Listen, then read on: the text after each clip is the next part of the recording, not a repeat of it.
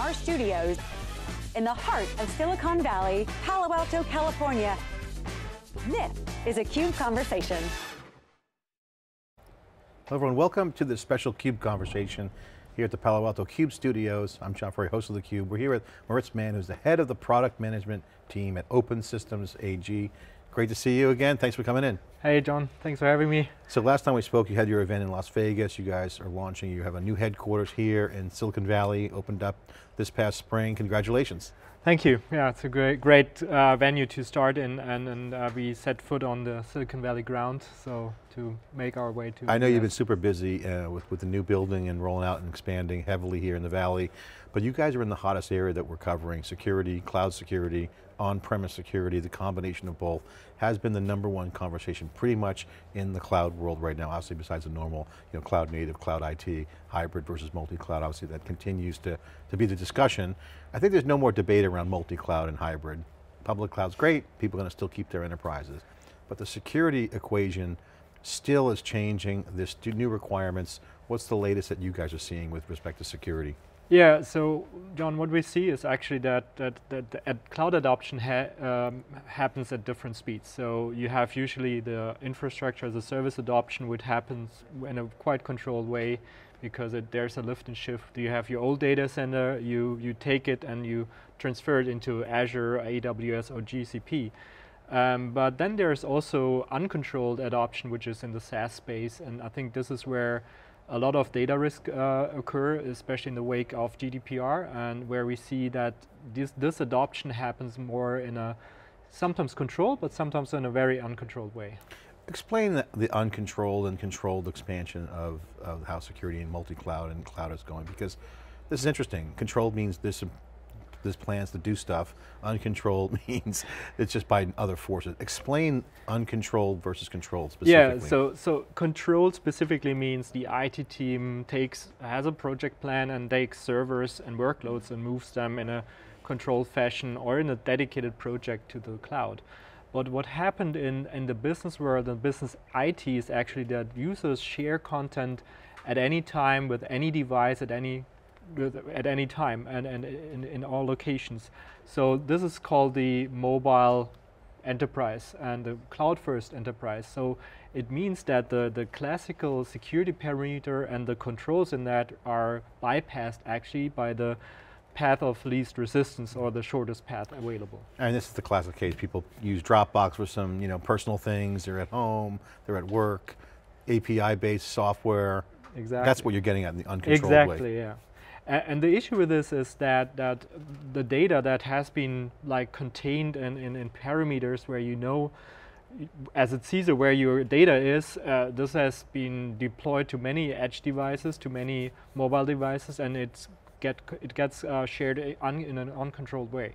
Well, I got a couple talk tracks I'd like to drill down on that because I think this is the trend we're seeing APIs dominant, the perimeter on the infrastructure has gone away, and it's only getting bigger and larger. You got IoT and yeah. IoT Edge, just and, and, the networks are controlled and also owned by different people. So the packets are moving on, it's crazy. So that's the reality. First talk track is the security challenge. What is the security challenge and how does a customer figure out what to do from an architectural standpoint when they're dealing with hybrid and multi-cloud?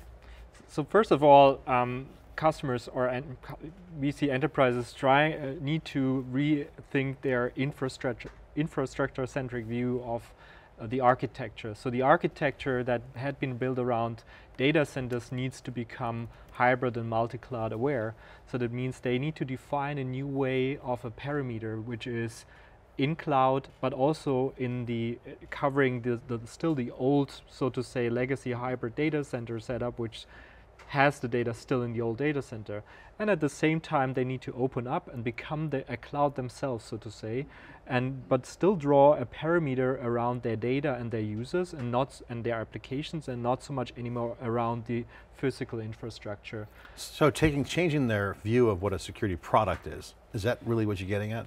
Yeah, so the issue is with the product point solution was that they fixed uh, a certain part of, of, of a tactile issue. So if you take a firewall in itself, a firewall back then, it, it was like a entry door to a big building. Yeah. You could, could decide who comes out, who goes in. Now, if the, the, the, the kind of the walls of the building are vanishing or are more uh, morphic, uh, you need to come up with a more integrated uh, uh, concept. So having these stacked appliances and stacked security solutions, trying to work together and chain them doesn't work anymore. So we think and we see that. Why is that? Why doesn't it work? because in the end it's it's it's hardly uh, to to operate them uh, each of those point solutions have their own uh, end of life they have their own life cycle they have their own apis they have their own tco uh, so all that needs to be covered and then there's the human aspect where you have the knowledge pools around those technologies so as an enterprise you have to content continuously keep the very scarce security experts to maintain uh, contin- to continuously depreciating assets running, right? Yeah, and they're also not, they weren't built for tying into a holistic kind of uh, Exactly. water platform. Yeah, what we see is that that enterprises now realize we have data centers, and it's it's uh, now an accepted uh, reality that you can abstract it with the cloud. So you have uh, you don't own your own servers and buildings anymore, so you have a OPEX model to subscribe to cloud services, and we think that this has to happen sec- to security too. So shift from capex to opex, and uh, the same way also for operational matters. Security as a service is a great business model. I want to ask you on that front, you mentioned mobile users. How do you secure the mobile users when they use cloud collaboration? Because this is really what users expect and they want. How do you secure it? So we secure it by by actually uh, monitoring the data where it actually gravitates, and this is usually in the cloud. So we enforce the data um, that is in transit through uh, proxies and gateways towards the cloud from the endpoint devices, but also then looking via APIs in the cloud themselves to look for threats, data leakage, and also sandbox certain uh, activities that happen there. All right, the next talk track I want to get into is the expansion to hybrid and multi-cloud, something that you guys do as, uh, from a product standpoint, solution for your customers, but in general, this is an industry conversation as well. How, how do you look at this from a software standpoint? Because you know, we've heard Pat Gelsinger at VMware talk about software-defined data center, SDN, everything's now software-based. You talk about the perimeter goes away. You guys are kind of bringing up a different approach as a software perimeter. Yeah. What is, what is the challenge for expanding to multi-cloud and hybrid cloud?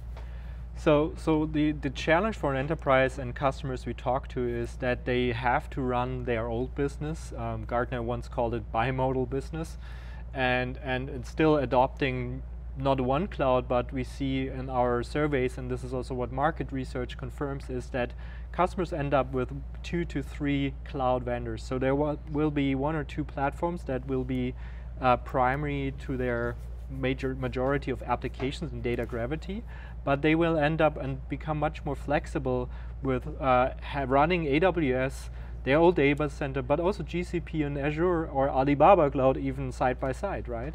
To cover the different speeds at what their own enterprise runs at. So I got to ask you about cloud native because one of the things that you're bringing up that just jumps in my head, I want I got to ask because this is uh, what I see as a potential challenge. It might be a current challenge. Is when you have Kubernetes growing at such a rapid rate, you see the level of services coming online at a much higher rate. So okay, people, mobile users are using the Dropboxes, the boxes, and using all these API services, but that's just those are apps. Yeah. There's a, hundreds and thousands of microservices being stood up and torn down in there. You guys are taking, I think, an approach of putting a perimeter, software perimeters around these kinds of things, but they get turned on and off. How do you know what's clean? Because it's all done automatically. So this is becoming a challenge. So is this what you guys mean when you say software perimeter, that you guys can just put security around things at any time? Is that, explain this dynamic, Yeah, because it's a big deal. So if you talk about the service mesh, so really meshing cloud native, native functions, I think uh, it's still in a phase where it's, I, I would say, chaotic when you have specific projects that are being ramped up, ramped down. So we draw a perimeter in that specific context. So let's say you have you're ramping up a lot of cloud function AWS, we can build a perimeter around this kind of containment and look, especially for threads in the activity logs of the different Kubernetes containers. But uh, from a from a design perspective, this needs to be uh, um, we need to think ahead of the future because if you look at Microsoft uh, and AWS strategy, those containers will eventually move also back to the edge. Um, so. Yeah we are pre in preparing that uh, to, to support those models also cover, bring the, these functions closer back again to the edge. And we call that not any longer the WAN edge, but it will become a cloud edge, edge actually. Mm -hmm. So it's not an extension of the LAN that comes to the data, it's actually the data and the applications coming back to the users and much closer. Yeah, I mean in that case you can define the on-premises environment as an edge, big edge, because this is all about moving workloads and yeah. data around. This is what the new normal is. Yeah. So I go, okay, I got to ask you the next question, which is, okay, if that's true, that means that Kubernetes becomes a critical part of all this and containers. Yes. How do you guys play with that at, all? So we play with this by, by actually looking at data coming from that. At the moment we are looking at this from a, from a data transit perspective. Uh, we, but we will furthermore integrate for, into the, their AT APIs and actually become part of the CI/CD process mm-hmm. um, that that will be then actually be become a security function in the approval and rolling out a canary to a certain service mesh and we can say, well, this is safe or this is unsafe. This is, I think, the eventual goal to, to get there. But, uh, but for now, it's, it's really about tracking the logs of each of those containers and actually having a perimeter and segmentation around the service mesh cloud, so to say. I think you guys got a good thing going on when you talk about this new concept that's of software-defined perimeter. It's, you can almost map that to anything. Everything, everything has its own little perimeter. Workload yeah. could be moving around, still it needs to be secure. So I got to ask you on the next talk track, because this leads into hybrid cloud. This is the hottest topic. Hybrid cloud to me is the same as multi-cloud, just kind of get together. A little bit different, but hybrid cloud means you're operating both on premises yeah. and in the cloud. This is becoming a challenge. Most CISOs, Chief Information Security Officers, don't want to fork their teams and have multiple people coding different stacks. They don't want the vendor lock-in, and so you're seeing a lot of people pulling back on premises, building their own stacks, deploying in the cloud and having a, a, a, seamless operation. What is your definition of hybrid? Where do you see hybrid going, and how important is it to have a hybrid strategy? So I think the key success factors of a hybrid strategy is that standardization is a big topic. So we think that uh, a service platform that to secure that, like the SD-WAN secure service platform we, built, needs to be standardized on operational level, but also from a, a baseline security and detection level. And this means that if you run and create your own workloads on-prem, uh, you need to have the same security and standard security and deployment standard for the cloud and have the seamless uh, security perimeter and level of security no matter where these, these deployments are. And the second factor of this is actually how to ensure a secure data transfer between those different workloads. And this is where SD-WAN comes into play, which acts as a fabric um, uh, together with, uh, with a WAN backbone uh, where we connect all those pieces together in a uh, secure fashion. Moritz, great to have you on theCUBE and sharing your insight on the industry. Let's get into your company, Open Systems. You guys provide an integrated solution um, for DevOps and, and secure service and security platform. Take a minute to talk about the innovations that you guys are doing, because you guys talk a lot about CASB, talk a lot about um, integrated SD-WAN, um, uh, but first define what CASB is for the audience that doesn't know what CASB is. It's an acronym, C-A-S-B. Um, it's kicked around all in the security conversation. So if you're new to security, uh, it's an acronym that you should pay attention to. So define CASB and talk about your solution. Um, so uh, CASB is in a, uh, the abbreviation means Cloud Access Security Broker. So it, it's actually becoming this uh, centralized orchestrator that that allows and defines access based on a on a trust level. So saying um, first of all, it's between networks saying I have a mobile workforce accessing SaaS or IaaS applications. CASB is in the middle to provide security and visibility about where's my data moving, where's my, where do I have exposure of, uh, of GDPR compliance or PCI or HIPAA risks and where is it exposed to, uh, which is a big deal um, and, it, it's kind of the lowest level to start with. But then it goes further by, uh, we can use the CASB to actually pull in data that um, that is about IaaS workloads and to, uh, to identify data that's being addressed and stored. So are there any incidentally shared uh, data uh, artifacts that are actually critical to the business and are they shared with external resources. And then going one step further, where we then have a complete zero trust access model where we say we know exactly who can talk to which application at any time uh, and give access to.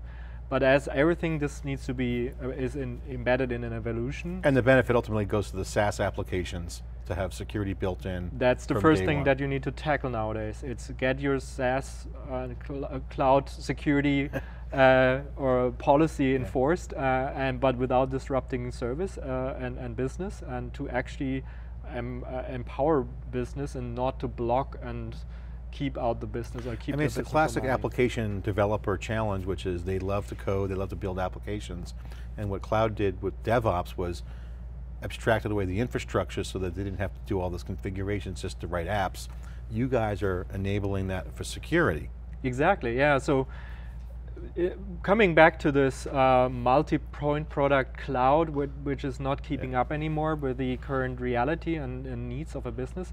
So we took the approach and, and compared DevOps with a great service platform. So we have engineers building the platform, this integrated security service platform, which provides SD-WAN, managed detection response, and CASB services in one under one platform, which is tightly integrated. But in the in the customer focus that we provide them an OPEX model, which is pretty pre very predictable, very transparent in their security posture, and make that uh, a scalable platform to operate and expand their business on. And that's great, congratulations. I want to go back for the final point here to round up the interview. Um, for the IT folks watching or um, the folks who have to implement multi-cloud and hybrid cloud, they're sitting there, it could be a cloud architect, it could be an IT operations or an IT pro, they think multi-cloud this and hybrid cloud, this is the environment they have to get their arms around. Yeah. How, what should they be thinking about around multi-cloud and hybrid cloud? What is, is it real? What's the reality now? What should they be considering for evaluation? What are some of the key things that, that should be on their mind when they're dealing with hybrid cloud and all the opportunity around it? So I think there, there like four key pieces. One is um, they think they have to start to think strategic. So what is a platform and a partner that helps them to plan ahead for the next three to five years in a way that they can really focus on what their business needs are. This is the scalability aspect. The secondly, it's a, do, we, do I have a network and security uh, architecture that allows me to grow confidently and, and go down different venues to, to actually adopt multi-clouds without worrying about the security implications behind it too much uh, and, and, to implement that. And third is have this baseline and have this standardized security uh, posture around wherever the data is moving, being it mobiles, being it uh, SaaS, or being it uh, on-prem and in-cloud uh, workloads. And the fourth piece is ag again um, really thinking of where do I spend most of my time? Uh, where do I create create value um, by by defi defining this framework so it really can create a benefit and value uh, for the enterprise? Because if you do it not right, you're not right. You will have a, we, uh, you will end up with a an architecture that will break the business and not accelerate it. Moritz head of product at Open Systems here inside the CUBE studios. Um, great job, you must love your job, you got the keys, a lot of pressure. Security, being a product, head of product for a security company, it's yeah. a lot of pressure. Uh, before we wrap up, just give a quick plug for the company. You guys hiring, you guys have a new office space here in Redwood City, looks beautiful. Give a quick share, quick plug for the company. Yeah, so Open Systems is a great company to work with. Uh, we are expanding in the US uh, and also EMEA uh, with, with, uh, uh, with, with, all the workforce, so we are hiring. So go on our, our website, we have a lot of open positions, uh, exciting challenges in a growth-oriented workspace. And, and yeah, I, as you said, security at the moment is one of the hottest areas to be in, especially with all the fundamental changes happening in the enterprise and architecture, IT landscape. So yeah. And cloud security specifically, not just endpoint, the normal stuff that people are used to. Cloud exactly. security is hot as, hot as, as could be right now. Yeah. Moritz, thanks for coming on theCUBE, thanks, thanks for the insights. I'm John Furrier with theCUBE. We're here in Palo Alto with Moritz Mann, who's the head of product management for Open Systems. Thanks for watching.